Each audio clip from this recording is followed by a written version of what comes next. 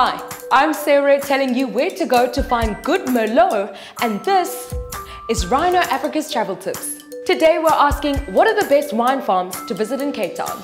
There are nine wine farms in Constantia, the wine valley nearest to Cape Town, that was once celebrated by writers such as Charles Dickens, Jane Austen, and Charles Baudelaire. It's just half an hour from the city centre, but feels like a world away. These are our favourite wine farms.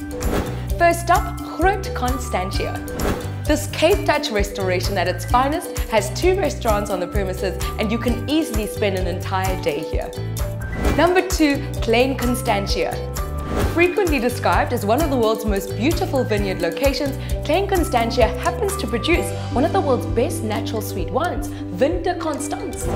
At number three is Beau Constantia. Beau Constantia is a boutique wine farm at the top of Constantia Neck overlooking False Bay. It's sleek, cool and contemporary.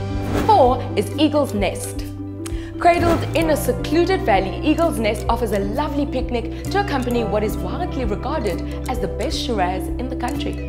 At 5 we have Buitenverwachting. This beautiful wine farm offers more than just wine as it's home to a charming coffee shop with in-house roasted beans and delicious pastries. Number 6 Constantia Glen. This boutique wine estate has views to die for and offers Instagram-worthy shots of the valley. I just love tucking into one of the popular cheese and charcuterie platters here. And finally, at 7 is Steenberg. Steenberg is home to five-star hotel, two award-winning restaurants, and some of the finest Sauvignon Blanc in South Africa. And to drive it home, a golf course. To find out more about Cape Town or anything related to travel in Africa, visit our website rhinoafrica.com.